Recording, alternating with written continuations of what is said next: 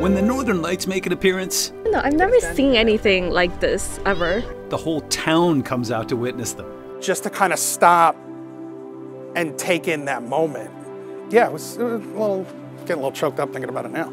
If you've seen the Northern Lights, you may have wondered why do they look so much brighter in pictures than they do in person? Because of light pollution, they may not be green, they may be white. Your cameras have sensors that gets that, that noise pollution down to a minimum and turns them back green.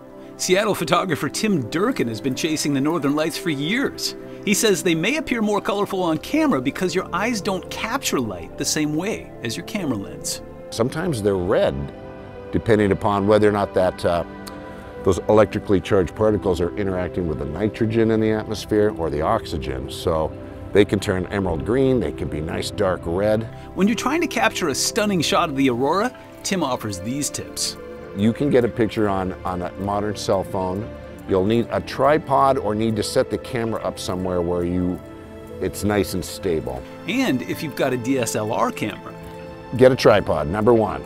Shutter release button, number two. The less shake you have in the camera, the more clear whatever you have in the, in the foreground is, is going to be sharp and in focus. if your camera has the ability, Tim says a time lapse is the way to go. You set your exposure to about once every two seconds. Do it over the you know 15, 20 minute period at the height.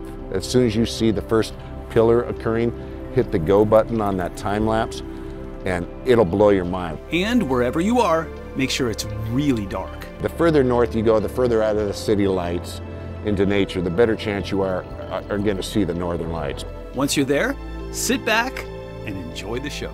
It's also a moment to just kind of uh, commune with nature. You're, you're about to see something that uh, you can imagine what they thought of 100, 500, 1,000 years ago when they looked up to the skies and saw this event going on. It still is just one of the most amazing sights you can really see.